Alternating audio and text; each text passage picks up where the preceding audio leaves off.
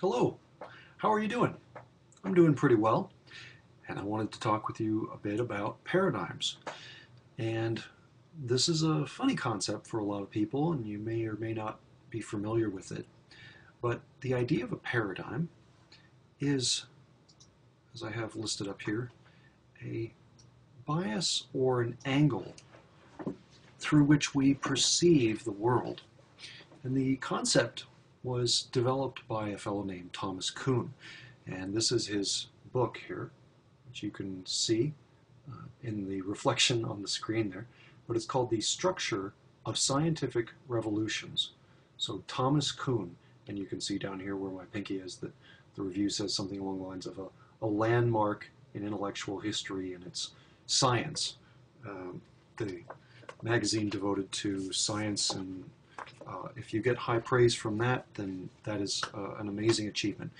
So Kuhn's idea of a paradigm relates to how scientific revolutions are working. And the old idea of scientific revolutions, uh, science was once, I'm going to go down here for a second, science was once thought to be cumulative. In other words, the gradual progression of incrementally increasing knowledge that would lead to a giant understanding, a complete understanding of the world. Paradigms, though, focus on the idea that our understandings of the world, even through a scientific perspective, may be biased. Uh, they may come from a particular angle. And that is really uh, a key aspect of being human. We observe the world through a perspective. Right now, you're getting an incredible amount of information, even just from the screen, from watching me and looking at the slide. Uh, our minds have to work very hard to organize that information, to filter it out in order so that we can make quick sense of the world. So paradigms are, you could say, uh, intellectual ways of being that allow us to focus on some things and screen out others. And as an example, here I have the drawing that you have now in this little box. And I could ask you, what is it a drawing of? If you look at the drawing, uh, as you could maybe uh, horizontally, what do you see? Perhaps you see a duck. Perhaps this is the eye right there, and this is the bill of the duck right here where the arrow I'm trying to draw is. Um, there we go.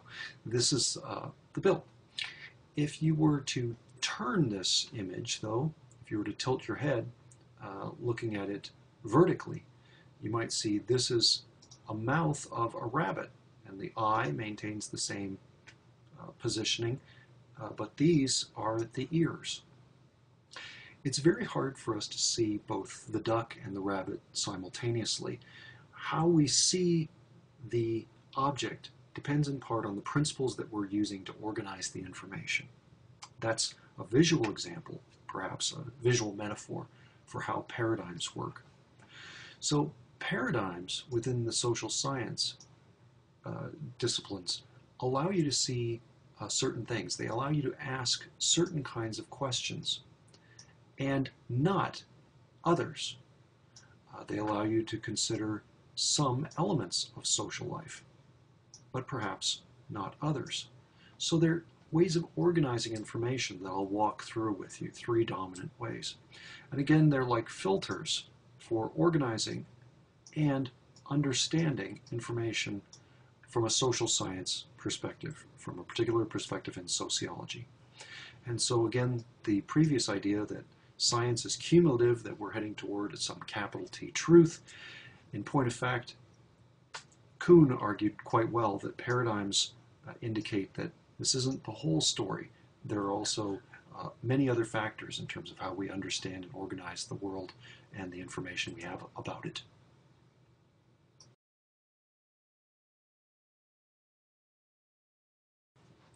The first of the three major paradigms within sociology is called positivism, or the positivist paradigm. And what I'd like to do with you for the next few slides is walk through four different elements in regards to each of the three paradigms I'm going to discuss. And those four elements are first, I'm going to go through with each paradigm, I'll go through the nature of the social world, what the social world is thought to be, how that world ought to be studied, what's the goal of completing that study, and then what are the policy implications of this paradigm, the way it studies the world, and what ought to be done with the information. Okay, so those four will be consistent through each of these paradigms I'll discuss.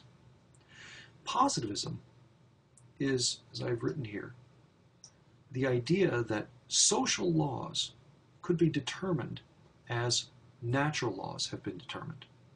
So the idea here is that the social world can be studied using the same kind of methodology you would use to study the natural world. Um, observation and being able to see, count, and try to determine causal relationships, which can then be explained. So if I were to be, like, say, for example, a um, geologist, I would study rocks and I would try to understand them, uh, observe what they uh, do, or, or, maybe the principles of um, how they're formed. So in this instance, you have, like the law of gravity, uh, positivists want to determine, for example, things like the law, laws, excuse me, of society. And the idea is, is that, like gravity, you could study the social world in terms of law-like regularities. And that those law-like regularities, like say for example the laws of gravity that you would have in the natural sciences, the law-like regularities of the social world can be captured or understood by what's called the parallel ordering of abstract concepts. So if we can come to some agreement of an abstract concept like what is poverty, we can define that and share that among all the different sociologists, perhaps we can try to find the truth, the capital T truth underlying poverty. We can study it in order to understand law-like regularities existing in the social world. In other words, is there some kind of basic law that underlies poverty and how poverty occurs? Wouldn't it be amazing if we could find that law, that law-like regularity? If we want to try to study the world in a positivist or naturalist way, then we're going to use the techniques of experiments and observation. Experiments are seen as the hallmark of the sciences. That's what you use in the hard sciences, like, uh, for example, in biology, in chemistry. Uh, you do experiments in order to figure out causal relationships and to determine rationally why things are the way they are. Surveys for social scientists are also seen as a form of observation. Uh, so you can do surveys of people in order to understand the opinions, beliefs, attitudes that people have. And surveys are, of course, indirect, but they're thought by positivists to still have a lot of scientific rigor. Much like experiments do. Again, you can figure out the basic underlying truth of what people think, how they behave, etc. What's the goal underlying the positivist approach? The goal is, as I like to say, they're playing for all the marbles. They want to explain and predict the world. So you want to get to the bottom of social life, how it's constituted, and uh, to be able to understand, well, if this group does this or thinks in this way, then this is going to be the outcome of that. So it's very much like the natural sciences, cause and effect type thinking. And as I say, explain and predict, those are the hallmarks, really, of the sciences. For example, the law of gravity. If I drop my pen over and over again, I come up with an idea that this smaller mass is attracted to the larger mass of the Earth, I've come up with an explanation and I can predict what direction the pen will fall in the future. Wouldn't it be amazing if we as human beings could do that kind of explanation and prediction of other human beings and social groups? So that's what positivists want to do. The goal, explaining and predicting, relates to the policy implications. What are you doing positivist type research for? The goal is you want to improve society. You understand it in order for the accomplishments to better humanity.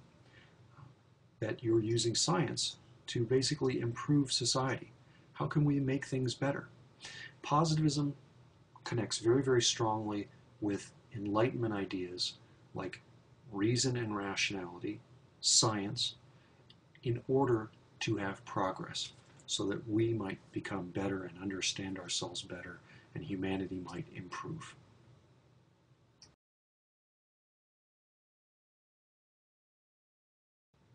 The second paradigm I'll discuss, the interpretive paradigm, has very, very different assumptions and a very different orientation than positivism. Let's go through the assumptions. Here, the social world is believed to be meaningful. And that means that you have to understand it in context. The way I like to say this is that human beings are not rocks, right? A rock doesn't have any meaning, you know, when it falls to earth. It's doing it because of some type of natural physical laws that exist, like the law of gravity. Humans, though, you can observe what they do, but you're not necessarily going to get at the meanings that they assign to their behavior, why they do what they do. That makes social science a whole different enterprise than studying, for example, things in the natural sciences. Because humans are species that make meaning out of their worlds and they have subjective understanding of their world. So the world for humans is a product of shared subjective interpretations. So, like for example, what does love mean to you? Uh, if love means a form of commitment, then that's one thing. If it means a form of passion, that's another. But those things underlie the actions and the way that we really make our lives. So interpretive sociologists believe you have to look at those things. And that's not going to be something that you'll ever necessarily get to the bottom of in a kind of a concrete way. Natural sciences think that we can get at the world and understand it in concrete form. Interpretive sociologists believe that we ought to consider the meaning of the world and behavior, etc. So the idea, as I just articulated, I hope, is that the human world is qualitatively different than the natural world. And you can't just study human beings using positivist or natural style methods. So, how should you study the world? Through the interpretations of the actions and behaviors of people in terms of the subjective meaning that they have for those social actors. So, perhaps as an example. Um, maybe you had a, a, favorite piece of music uh, that you listened to, and you had a particular meaning that you assigned to that. You felt really good when you heard that song. Now, maybe you were put in a situation where you heard that song where something terrible happened, like, oh, I hope this didn't happen to you, but imagine your best friend being killed while you heard that song. Suddenly, that song, the subjective meaning you had for it, takes on a totally different kind of meaning for you. So, sociologists who are interpretive want to understand the interpretations that people make of the world, their actions, their behaviors, even their beliefs, in terms of what's the meaning they're assigning to those actions and behaviors and, and things. So, the, how do you do that? How do you understand the actions and behaviors in terms of their meanings, you go through naturalistic research methods. So you observe people and you engage in the groups that they're in. You see them as they act in the world, the real world. You can also do it through things like in depth interviewing. Finding out the meanings that people give to their behaviors. beyond what you can observe. You also figure out things like the process, that, for example, an object and its meaning can change over time. Think about something like a kiss. A kiss means one thing when you're eight years old. It might mean something very different when you're 20, and it might mean something very different again when you're 70 years old. So that meaning changes over time, and stuff like in depth interviewing, and perhaps even things like life histories, can get at the process and perhaps different themes or um, ways of understanding over time. That leads to the goal. You want to do interpretive understanding. You want to understand the social world from, as I have here, the POV, the point of view of the people you're observing or talking with. You want to understand why they do what they do, not just what they do, but why. Why do you do that? What's the purpose of this kind of approach? To enhance cooperation and intergroup relations. So if we understand the meanings that we have, for example, the ideas behind a different religious orientation versus an, another orientation, um, that should allow for understanding to reduce conflict. If you at least understand why people do what they do, or the, the orientation that they have, that at least gives you some kind of a, an explanation and a reason so that groups might cooperate with each other better and there might be more harmony.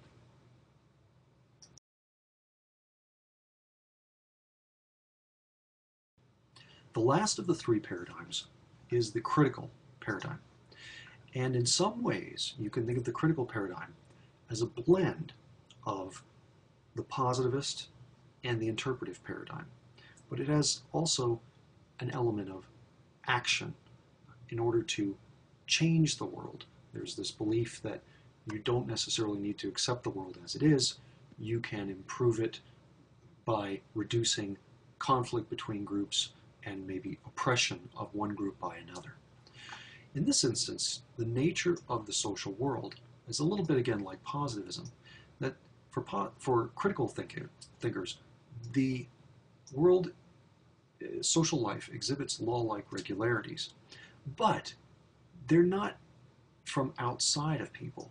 They're made by humans, right? Rocks can't determine whether or not they want to follow gravity, right? They they have to. That's how that situation is. Humans may exhibit law-like patterns, but they can change those they're human-made historic patterns. So the idea here is that the social phenomenon we see all around us is cultural and not natural. And that has huge implications for humans to be able to change the world and improve the world. And the important thing is, unlike positivism, these are tendencies. They aren't laws. Again, they're possible or I should say there, um, it is possible to change those things. How should the social world be studied? There are several methods used by critical theorists, but the methods all have to capture patterns, and the patterns are going to have historical origins and development over time, as well as contradictory features. So things like surveys can be very useful because you can look at the origins of a particular set of ideas, like for example, the origins of capitalism, and uh, you could see maybe how capitalism is changing over time, what people think of capitalism. Um, it's also possible to use ethnographies, which are related to field work going into the field. The field is any place where humans are interacting, and uh, writing about that. Ethno means people, graphy means writing, so ethnography is writing about a people. You can do content analysis, which is analysis of content, like for example in newspapers, magazines, television, to try to understand the general themes that are being promoted by those media. You could also do social history, for example, history of labor movements to understand how they evolved over time, the ideas that they had at the beginning maybe transforming or changing with a different historical context. Surveys uh, can be used as summaries of data too. Uh, again, the idea of process, you want to understand changes over time. Ethnographies, as I say, occur within a structural context. How do individuals understand their lives as part of a larger socio-historic period? Social history, as I mentioned, you're outlining the development of a certain group or social arrangement. And a key element differentiating the critical paradigm from the positivist is that you do not assume the facts speak for themselves. The way people behave is always within a context, a cultural, social, historic context that you must incorporate. And positivism does not necessarily have that same set of assumptions or ideas.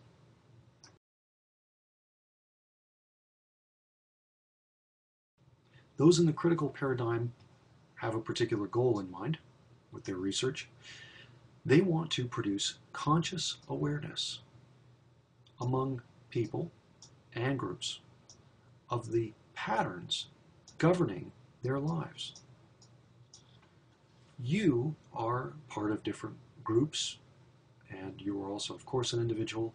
You have certain ways of thinking, and you may not be aware of the way that you as a human being are creating those things in relation to the context and the era in which you live.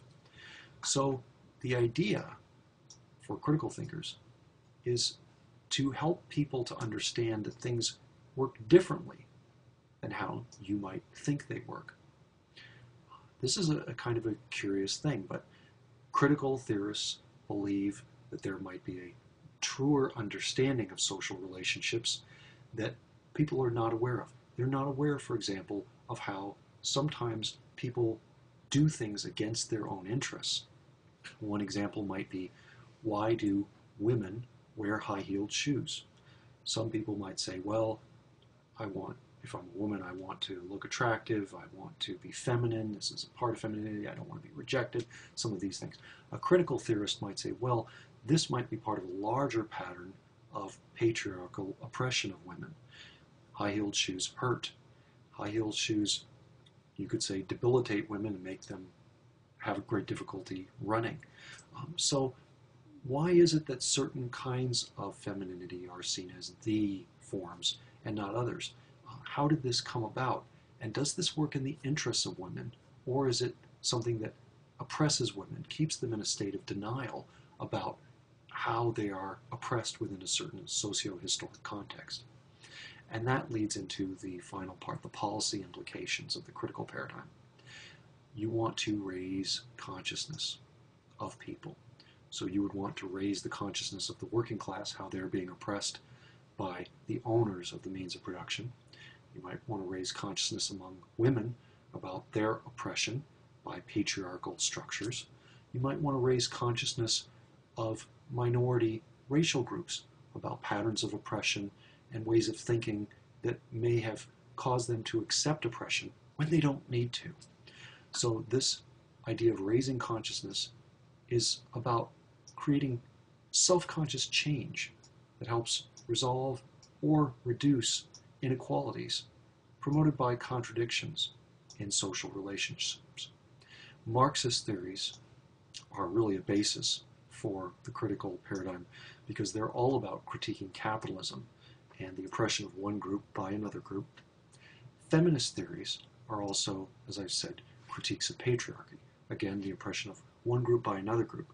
How does the group that's in power create the conditions whereby the people underneath them accept their powerlessness or their reduced power? And how can this group become more aware to change that environment, to change that situation, and create equality for all.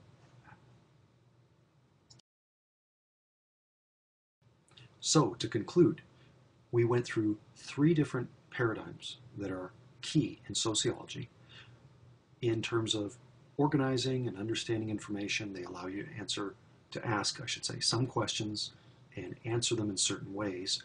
And That's important because not all sociologists agree on, for example, the assumptions about the social world, uh, how the social world should be studied, what's the goal of doing sociology or social science, and what are the policy implications of all of those different things in terms of action. So I wanted to give you a good overview of those paradigms, and that will allow us to discuss how different social theorists fall under the general logic of each of those three paradigms.